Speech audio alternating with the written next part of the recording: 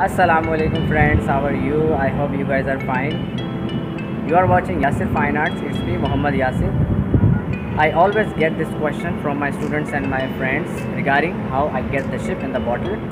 So today I'm going to show you how it's done.